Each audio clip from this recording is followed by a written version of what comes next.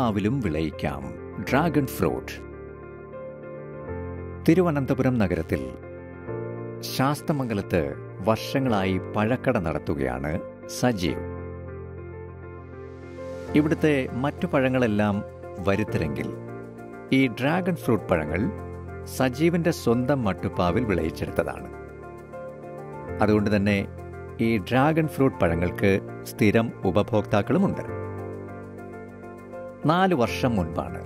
വട്ടിയൂർക്കാവ് മഞ്ചാടിമൂട് പൊറ്റാനിക്കൽ വീട്ടിൽ Sajeev dragon fruit കൃഷി തുടങ്ങിയത്.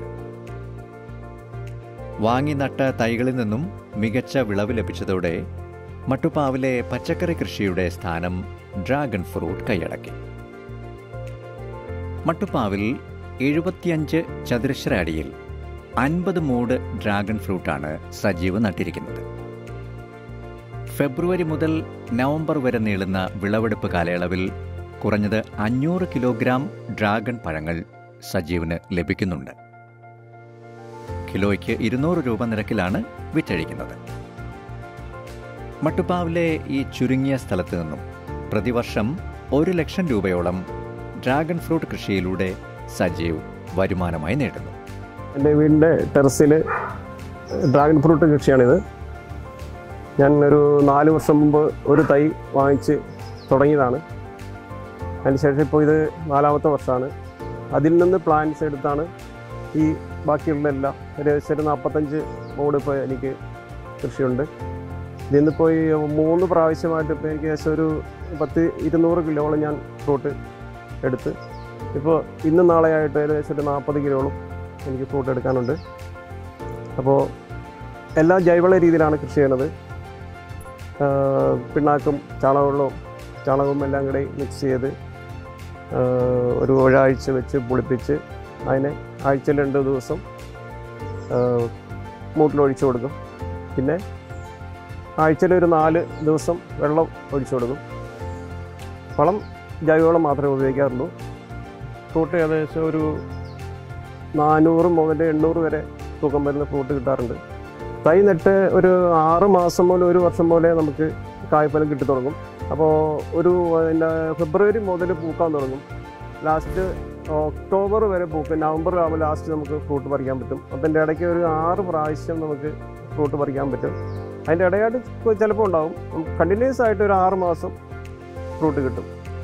ഇപ്പോൾ എനിക്ക് ഇതിൽ തന്നെ ഒരു ഇന്ന് ഈ ഇന്ന് നാളെ കൂടെ കൂടി ഏകദേശം ഒരു ഇരുന്നൂറ്റി നാൽപ്പത് കിലോ ഫ്രൂട്ട് എടുക്കാൻ പറ്റി. ഇനി അതുപോലെ തന്നെ ഒരു നവംബർ വരെ ആകുമ്പോൾ ഒരു പത്ത് നൂറ്റമ്പത് കിലോയുടെ ഇനിയും കിട്ടാൻ സാധ്യതയുണ്ട്. പച്ചക്കറി കൃഷിക്ക് വേണ്ടി തയ്യാറാക്കിയ പ്ലാസ്റ്റിക് വാട്ടർ ക്യാനുകളിലാണ് തൈകൾ നട്ടുകൊടുക്കുന്നത്. കൃത്യമായ പരിപാലനത്തിലൂടെ ഒരു വർഷത്തിനകം മുതൽ വിളവ് ലഭ്യമായി തുടങ്ങുമെന്നാണ് സജീവിന്റെ അനുഭവം.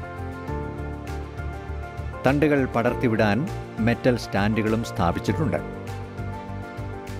മധ്യ അമേരിക്കൻ സുന്ദരിയായ ഈ കള്ളിമുൾ പഴം അതിവേഗമാണ് മലയാളിയുടെ മനസ്സിൽ സ്ഥാനം പിടിച്ചത്. പോഷകങ്ങളുടെ അക്ഷയഖനിയായ ഈ പഴം ഇങ്ങനെ അനായാസം മട്ടുപ്പാവിൽ വളർത്തിയെടുക്കാം. വളരെ എളുപ്പം നട്ടുപിടിപ്പിക്കാനും പരിപാലിക്കാനും വിളവെടുക്കാനും കഴിയുമെന്നതിനാൽ ഡ്രാഗൺ ഫ്രൂട്ട് കൃഷി ഏവർക്കും പരീക്ഷിക്കാം.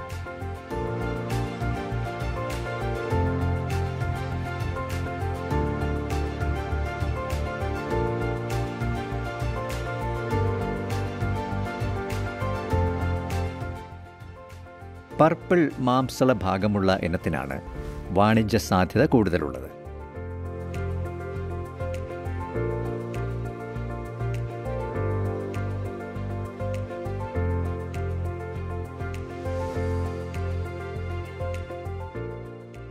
നല്ല സൂര്യപ്രകാശം ലഭിക്കുന്നതിനാൽ മട്ടുപ്പാവ് ഡ്രാഗൺ ഫ്രൂട്ട് കൃഷിക്ക് അനുയോജ്യമാണ്. പിന്നെ കാലാവസ്ഥ ശരിക്കും തൊണ്ണൂറ് ശതമാനം വെയിലാണ് ഇതിന്റെ പ്രധാനം. പിന്നെ വെള്ളം അധികം വേണ്ടാത്ത ഒരു കൃഷിയാണ്. അധികം പരിചരണം വേണ്ട. കീടശല്യങ്ങളില്ല. മറ്റുള്ള ക്ഷുദ്രജീവികളുടെ ശല്യങ്ങളില്ല. ഇത് നിറച്ചും മുള്ളാണ് അപ്പോൾ ഈ വവ്വാൽ അതുപോലുള്ള ജീവികൾ ഈ ഫ്രൂട്ടിനെ ഉപദ്രവിക്കില്ല. അപ്പോൾ അങ്ങനെയുള്ള ഒരുപാട് ഗുണങ്ങൾ നമുക്ക് വലിയ വലിയ കൃഷി ചെയ്യാനത് എളുപ്പമാണ്. ആദ്യം നമ്മൾ കൃഷി ചെയ്ത് കഴിഞ്ഞാൽ ഇതിന്റെ ഒരു ചെടിയുടെ ആയുഷ് ആയുഷ്കാലം എന്ന് പറഞ്ഞാൽ ഒരു ഇരുപത്തഞ്ച് വർഷമാണ്.